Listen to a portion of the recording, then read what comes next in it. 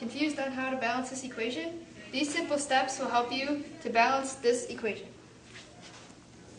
We will start out by writing down the different elements, aluminum and oxygen. And then we will write down the numbers of each element on each side. Aluminum has 1, and oxygen has 2. Aluminum has 2, and oxygen has 3. We can start with the aluminum because there's only 1 on one side and 2 on the other. To balance this, you would put a 2 in front of the aluminum on the left. And then the oxygen, since it has 3 and 2, 6 goes into them equally.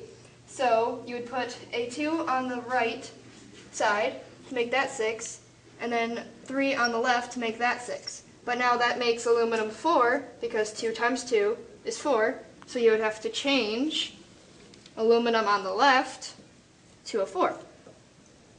And now that will be a balanced chemical equation.